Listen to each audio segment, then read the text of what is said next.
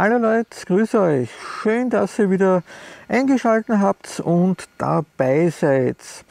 Ja, wie angekündigt, ja, und eigentlich schon seit längerem wieder mal doch ein neues Gleitschirm-Testvideo oder wie ich doch lieber, äh, doch lieber sage, ein Vorstellungsvideo.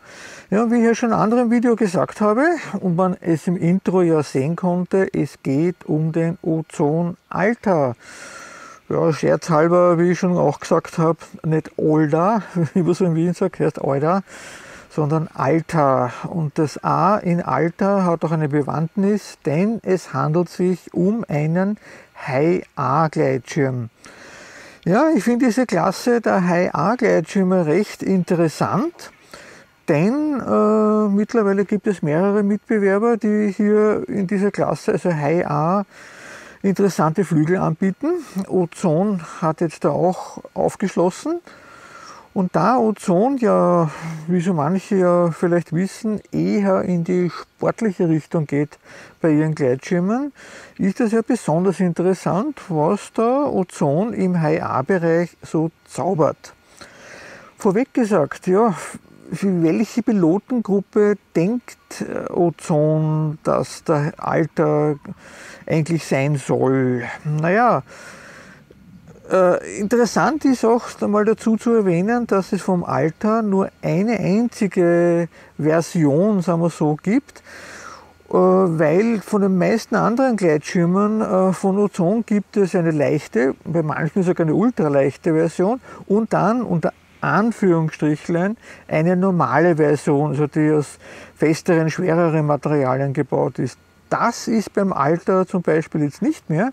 Da gibt es nur, wie Ozone selber nennt, die Semi-Light-Version.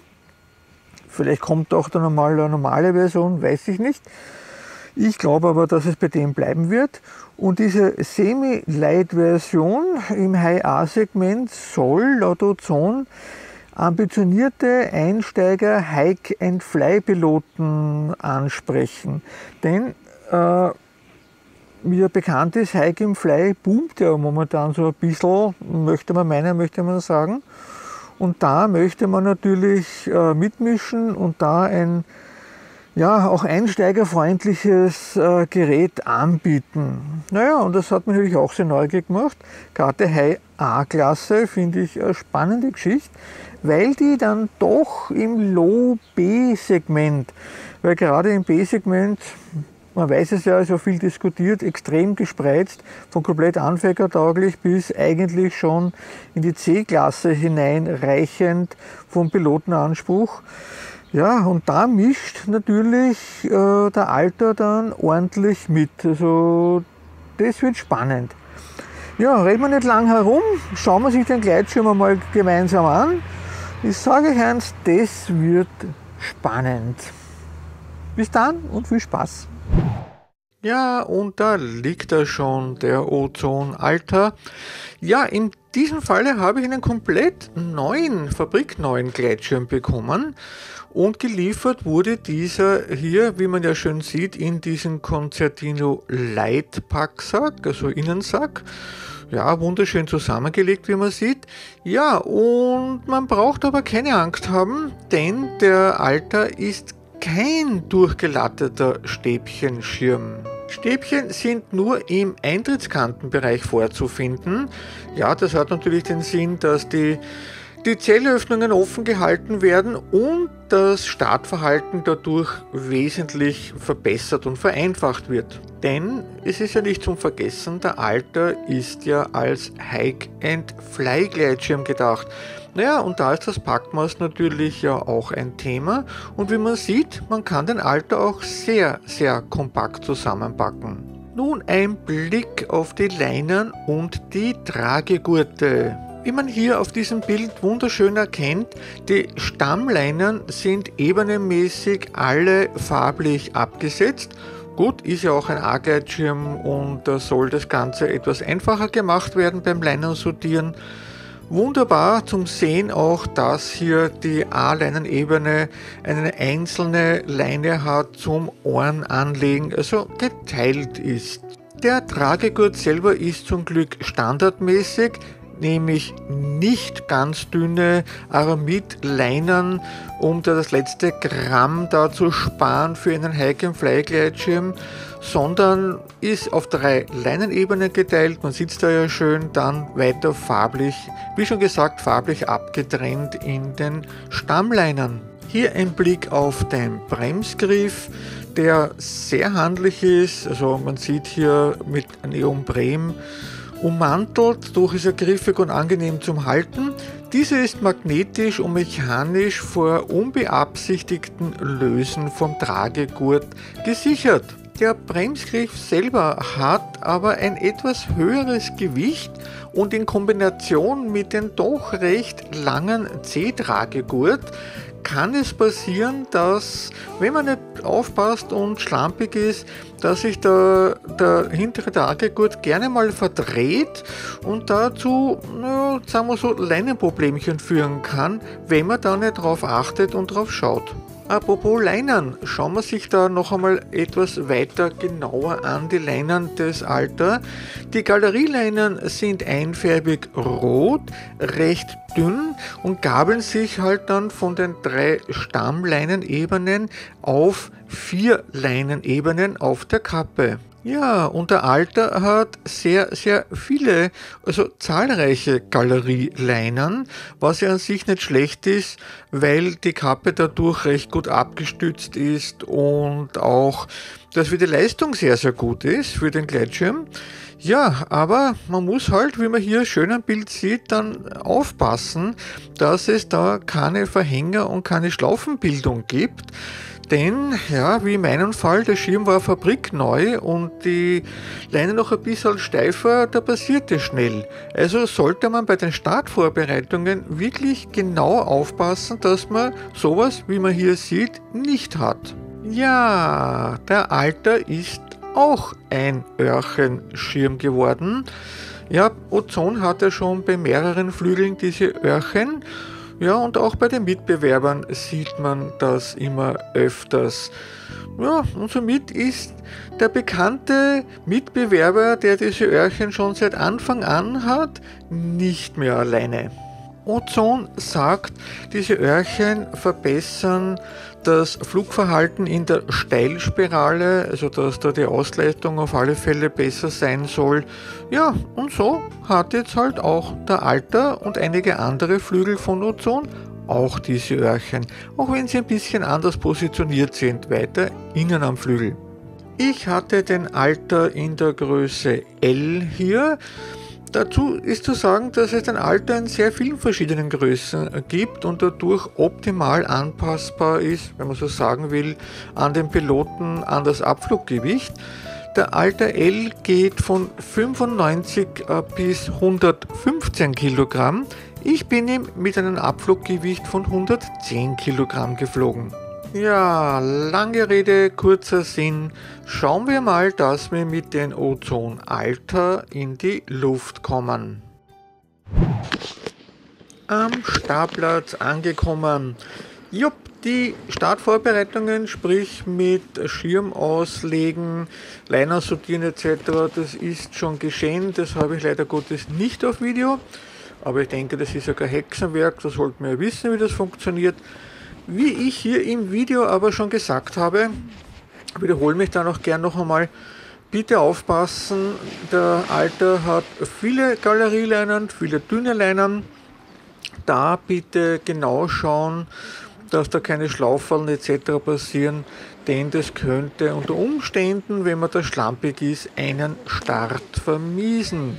Und wie ich hier auch schon erwähnt habe, bisschen aufpassen sollte man auch bezüglich des langen C-Tragegurtes mit der, naja, ich will nicht sagen schweren Bremsgriff, aber der ist halt zum Tragegurt natürlich doch ziemlich schwer. Und vor allem mit der Halterung und mit dem Magnet, dass sich der beim Einhängern in den Karabiner nicht so sehr verdreht und dass irgendwas passiert, dass dann beim Start die Bremsleine um, um den Tragegurt verdreht ist. Also da sollten wir auch ein bisschen genauer drauf achten. Der Start selber, hier sieht man gleich einen Vorwärtsstart, also der Klassiker, wie ihn wahrscheinlich Einsteiger, wenig äh, Fliegerpiloten öfters machen werden. Ja, was soll man dazu sagen? Man sieht es hier gleich wunderschön. Der Schirm steigt, ohne hängen zu bleiben, wunderschön gerade rauf. Bleibt sogar über einen stehen, hat man hier kurz gesehen. Und man hebt unheimlich schnell ab. Das hat mich sehr überblüfft. Also man wird hier zum Startmuffel, möchte man sagen. Nach dem unglaublichen Easy-Start, ja, das kann man wirklich sagen, also so schnell und kommod bin ich schon lange nicht mehr, mehr abgehoben, ist mir gleich aufgefallen, ja, der Alter reagiert sogar schön auf Gewichtsverlagerung. Ich meine, klar, nicht wie ein Hochleister oder Agroschirm, aber für den A-Gleitschirm verheißt das eventuell gute Thermikeigenschaften. Ui, ui, ui, ui. Wenn ich mir da so die beiden Gleitschirme unter der Kante anschaue, naja, schauen wir mal. Über der Kante bin ich ja mal und ob ich da ein Aufwindbandel finde. Ja, der gelbe ist drüber, steigt ein bisschen. Schauen wir mal, ob ich da auch was mitnehmen kann. Ja, man merkt doch ein bisschen, der Schirm zeigt schön an. Also er ist keine Sänfte. Es hebt, man dreht ein. Uh, das geht aber gut. Er nimmt das Steigen wunderschön mit, lässt sich wirklich schön eindrehen. Naja, da schauen wir mal, dass wir nochmal wirklich jeden Meter mitnehmen. Und ich traue mich da so vertrauenserweckend der Schirmpunkto Handling, dass ich da auch zur Wand zurückdrehe, dass ich halt die Thermik zentrieren kann und da Meter mache. Und wie man sieht, ja, ich steige. Wahnsinn, nicht schlecht. Was mir da bei den Kreisen gleich auch als weiteres auffällt, naja, der Schirm der Flügel ist eher ein Flachdreher. Ja, man hat ein wunderschönes Handling. Ich kann da wirklich toll zentrieren.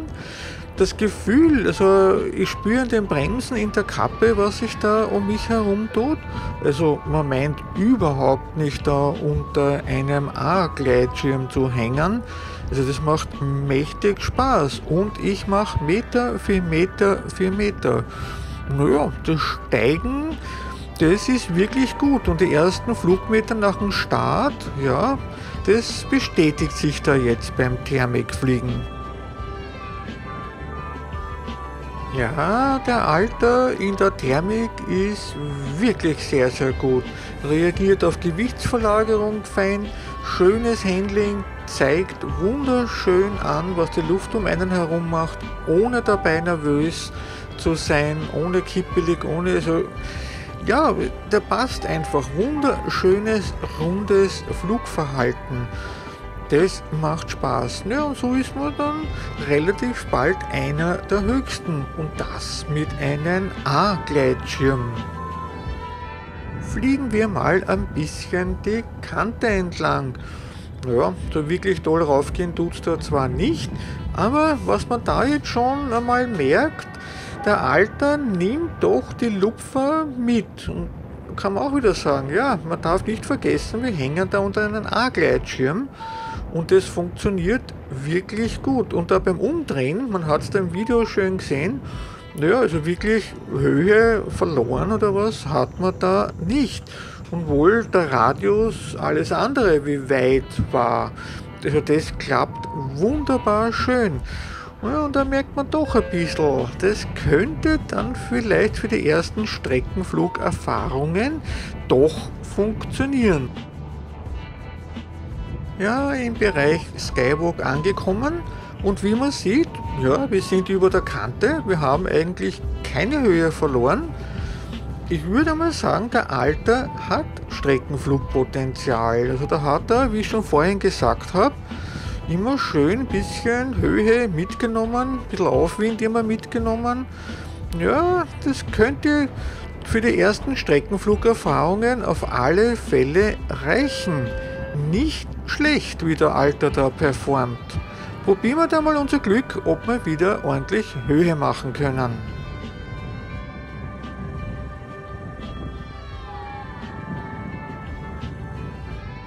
Ui, ui, ui, ui. Das schaut nicht gut aus. Glaube, da haben wir sich ein bisschen verspekuliert und ein bisschen zu blöd herumgespielt, um es einmal so auszudrücken.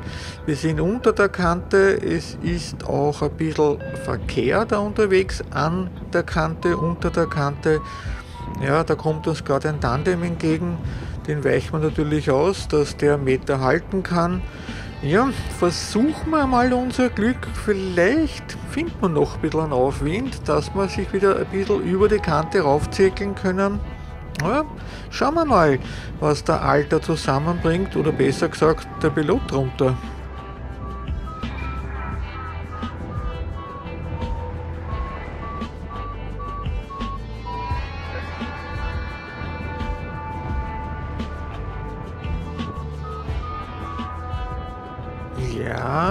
Man kann hoffen.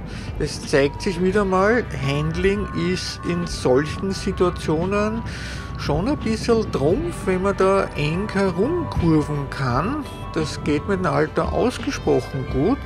Und schau, schau, wir kommen langsam aber doch wieder über die Kante drüber. Ja, also ja, der Alter kann was in der Thermik. Also wir steigen da doch, wir machen Meter, das funktioniert. Also wow. Das, wie gesagt, man darf halt nie vergessen, wir hängen da unter einen A-Gleitschirm drunter. Also was er da in der Thermik im Aufwind performt, nicht schlecht, nicht schlecht. Ja, wir haben es wieder geschafft. Wir kommen wieder auf Kantenniveau. Ja, ich würde mal sagen, der Alter ist auf alle Fälle sehr gut für die Thermik geeignet. Man kann da einiges machen und bereitet da unglaublich viel Freude in der Thermik. Ja, ein paar Worte zu den Steuereigenschaften des Alter. Ja, klassentypisch ist halt ein Einser, ich muss das immer wieder erwähnen, sind die Steuerwege natürlich, also die Bremswege, die möglichen, bevor der Schirm wirklich zum Stollen anfängt, sehr, sehr lange. Aber das Tolle dabei ist, dass das so abgestimmt ist, das Ganze, dass man zum normalen Kurvenfliegen gar nicht so viel Bremsweg braucht. Und wenn man das äh, zusammen mit äh, aktiven Fliegen mit Gewichtsverlagerung macht, dann funktioniert es tadellos. Und das ist sicher das Geheimnis für die wirklich ganz tollen Thermikflugeigenschaften des Alter. Da geht doch noch was. Lass uns das einmal probieren. Ja, aber da draußen, wo ich da gerade versuche, da das letzte rauszuquetschen, der Alter schlägt sich tapfer, also wirklich toll. Aber es, an diesem Tag war es einfach so derartig heiß, dass es hauptsächlich an der Wand bei den Felsen gegangen. Ja, aber das Potenzial ist da, der Alter zeigt es. Im Bereich Mautlandeplatz konnte ich so ein paar Kreise drehen.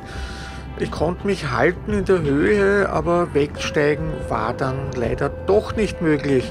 Ja, aber unterm Strich kann man sagen, ja, das Thermikverhalten des Alters ist gewaltig gut, das für einen A-Gleitschirm. Also das ist wirklich spitze und macht megamäßig Spaß. Ja, ich bin ja schon Richtung Landeplatz, also in der Talmitte Schullandeplatz unterwegs. Und wie man sieht, ja, so ganz ruhig ist es nicht. Es ist, es blubbert halt ein bisschen thermisch. Wie ich schon sagte, der Tag war sehr, sehr heiß. Also kontinuierliche Thermikblasen hat es dann nicht gegeben. Immer nur so ein bisschen ein Blubbern. Und ja, und hoch bin ich da auch nicht gerade, wenn man das so sieht. Das Gelände fällt zwar raus etwas ab, aber ja, und da muss ich schon sagen, ja, Gleiten ist gut, er nimmt immer auch die kleinen Aufwinde, die kleinen Blaseln mit. Also das funktioniert einmal ganz, ganz gut. Also das hat Potenzial. Und so würde ich einmal sagen, ja, der Alter eignet sich auch für die ersten Streckenflugerfahrungen. Das Potenzial ist da, das funktioniert, das geht.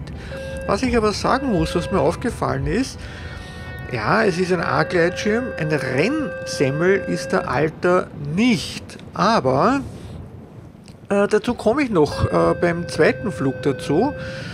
Äh, geht doch noch etwas, aber das werde ich euch dann nachher erklären. Gut, ich bin da in Landeanflug. Seht schon, Fahrwerk ist schon leicht ausgefahren, der bricht der Fuß. Ja, das funktioniert gut. Das ist wirklich easy. Ich drehe mich da ein für einen Endanflug. Ja, ui, das könnte knapp werden, aber das funktioniert. Und das Schöne ist, ja, man kann den Alter auch flären. Das funktioniert. Und so habe ich den Landeplatz noch tadellos erreicht. Ja, der Schirm ist rundum gelungen, kann ich nur sagen. Na, nicht zu schlecht, der Schirm, nicht zu schlecht für einen HA. Kann was, kann was. Nicht schlecht. So schaut er aus, das Baby. Echt gut. Gut gemacht dazu, sehr gut. Und weiter geht's. Ja, wieder ein Vorwärtsstart. Wie wir hier ja schon gesagt haben, total easy, man wird startfaul. Natürlich kann der Apex auch rückwärts gestartet werden, ganz easy. Aber, ein kleines Aber, das sollte man bedenken. Der Schirm hat natürlich auch typisch sehr lange Bremswege. Da kann es passieren, wenn man bei ein bisschen stärkerem Wind zum Beispiel den Schirm wieder runterkriegen will, weil was nicht passt beim Start, dass einem die Hände zu kurz werden. Ja, da kann man sich aber helfen, man nimmt die hinteren Tragegurte, dann funktioniert das schon. Aber das sollte man, also gerade wenn man da noch nicht so ganz fit ist, ein bisschen auf dem Übungshang auf die Wiese gehen, das auch üben, dass man da sicher Startabbruch machen kann, wenn man den Schirm verkehrt aufzieht. Aber ein solches überhaupt kein Problem, geht genauso easy. Ja, wie man da schön sieht, ziemlich bewölkt an diesem Tag. Besonders gut geht es da nicht. Aber wie wir ja schon ausführlich gesagt haben, der Alter ist im Aufwind, vor allem in der Thermik, sehr, sehr gut und macht Freude.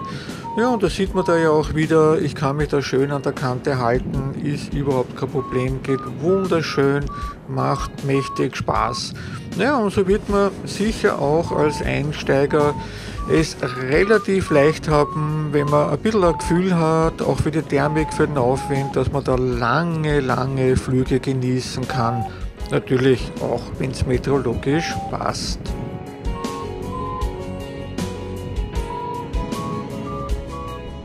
Ja, was ist denn noch wichtig bezüglich Streckenfliegen? Naja, die Speed.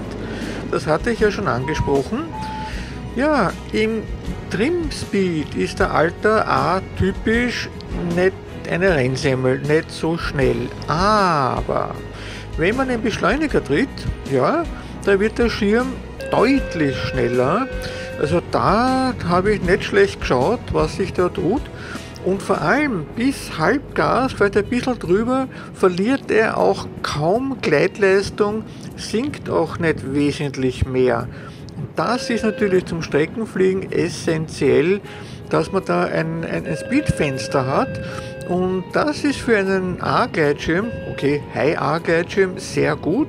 Und da jetzt würde ich auf alle Fälle sagen, ja, Streckenfliegen, zumindest für die ersten Anfänge zum Probieren, ist der Alter auf alle Fälle geeignet.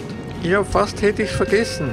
Der Druck auf der Bremse, naja, der ist normal, aber nicht so, dass einem die Haxen brechen. Aber man muss wiederum sagen, ja, das geht konstruktiv natürlich nicht anders. Großer C drücken, also so ganz locker ist natürlich nicht. Aber es funktioniert, das passt. Und wenn man sich alles gut einstellt, also das Bildsystem beim Gurtzeug und mit dem Schirm, dass es zusammenpasst, funktioniert das auf alle Fälle tadellos. Der Ozonalter, ja, wie ein Alter, wie ein Freund, um das wieder hervorzuholen. Der Alte lässt einem nicht im Stich, der Alter, ja, ohne Ecken und Kanten, komplett rundes Konzept, eine Waffe, um es wieder zu sagen, in der Thermik sehr, sehr gut. Ja, der Schirm kann was, ein unheimlich gutes Handling, gerade für einen A-Gleitschirm Ich denke, einen Einsteiger wird dieser Schirm sehr lange große Freude bereiten. Testfliegen sollte man den Schirm auf alle Fälle. Ich denke mal, so mancher Pilot wird sich in diesen Flügel verlieben.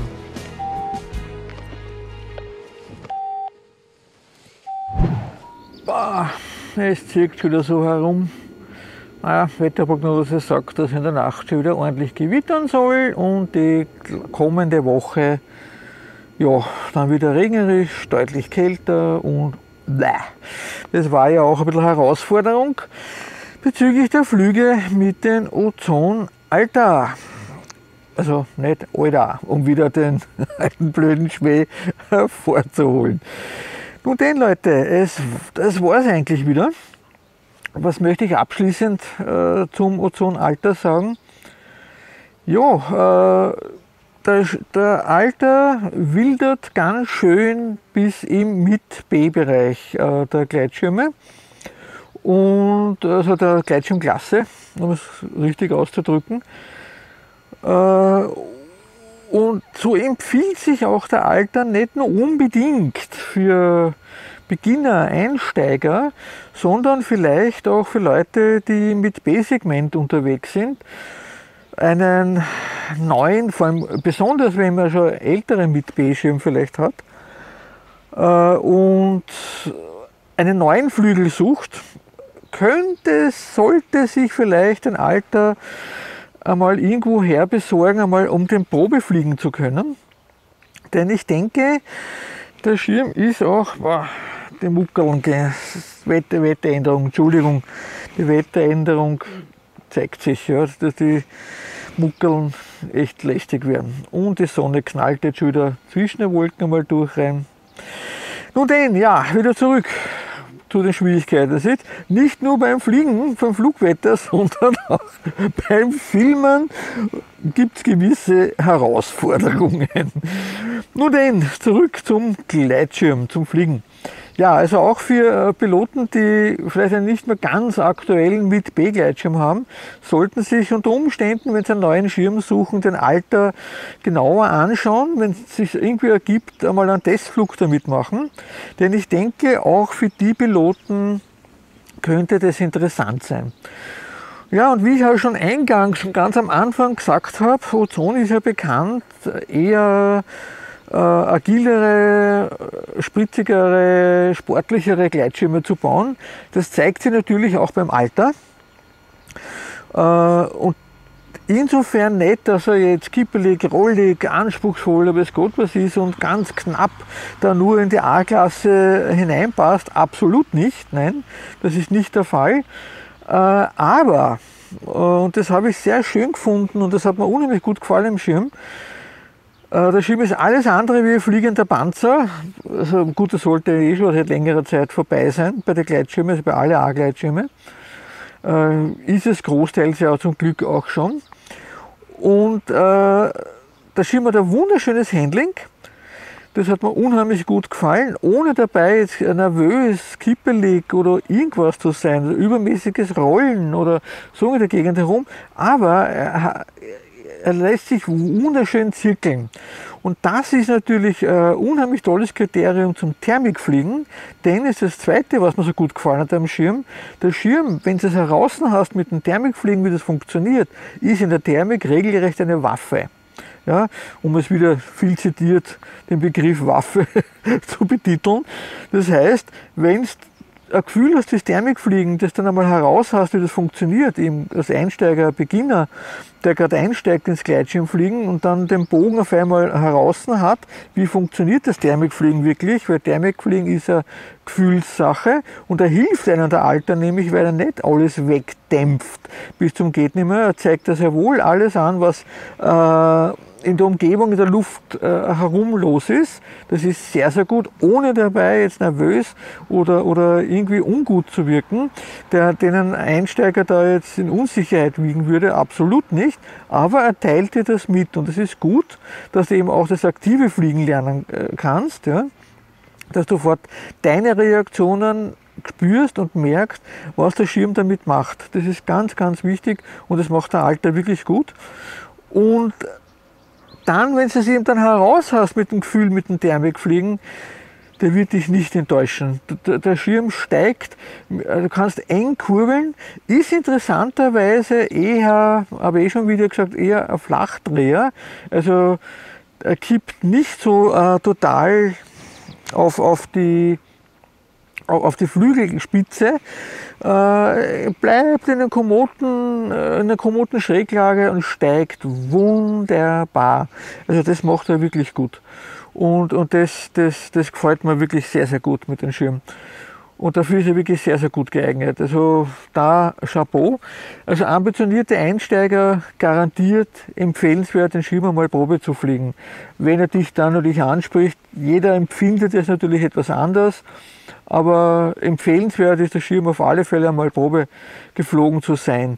Und der Schirm ist nicht allzu aufwendig, also viele Zellen und was Gott was alles und ein Stabelschirm, das ist er zum Glück nicht, denn Ozon sagt ja auch, es ist ja eigentlich gedacht als Hike-and-Fly-Schirm für Einsteiger und das ist absolut.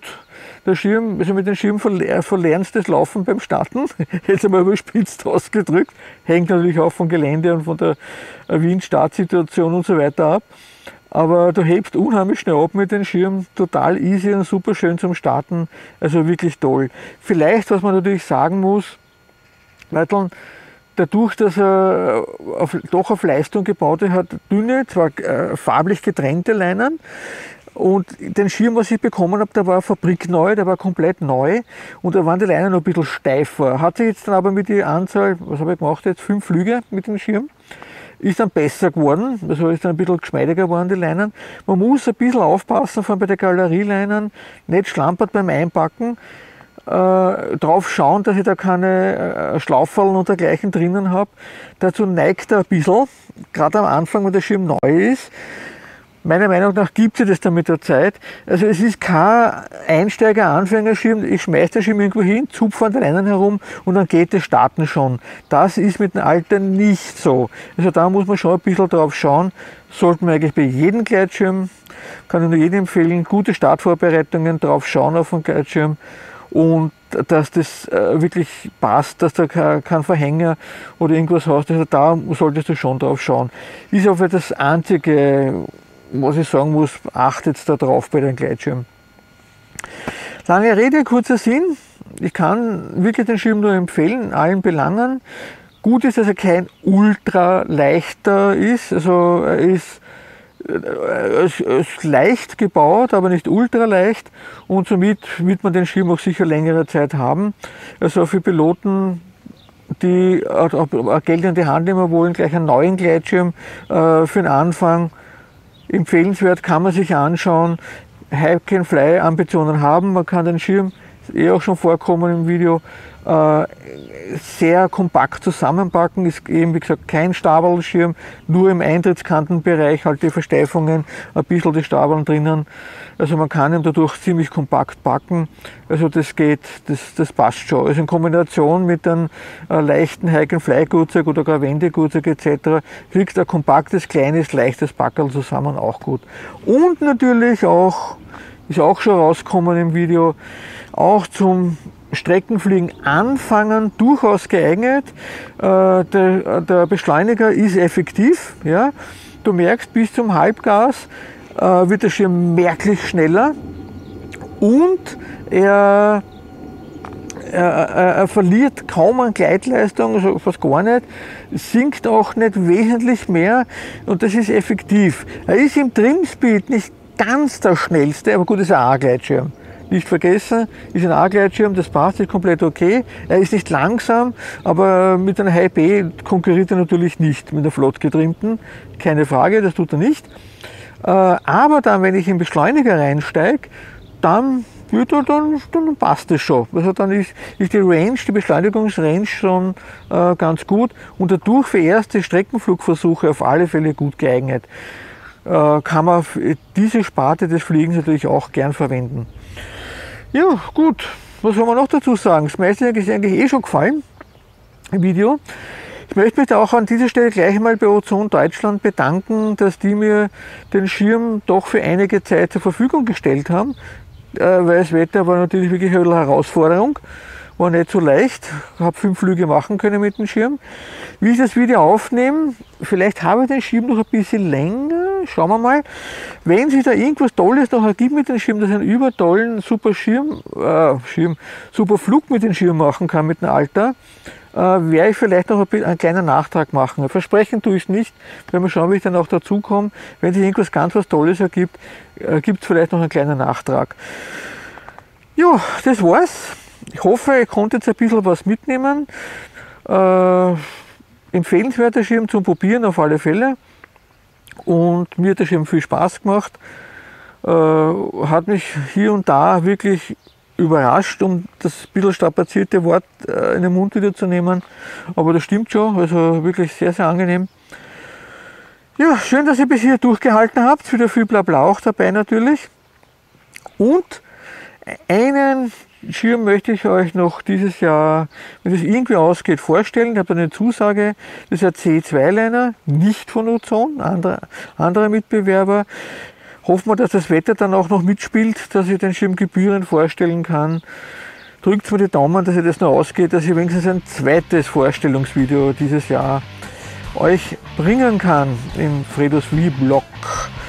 Gut, bleibt mir eins zu sagen, danke fürs Zusehen. Hoffe, das Video hat euch ein bisschen Spaß gemacht, konntet was mitnehmen, hat euch neugierig gemacht auf dem Ozonalter. Und wir sehen uns beim nächsten Video. Bis dann, ciao und tschüss.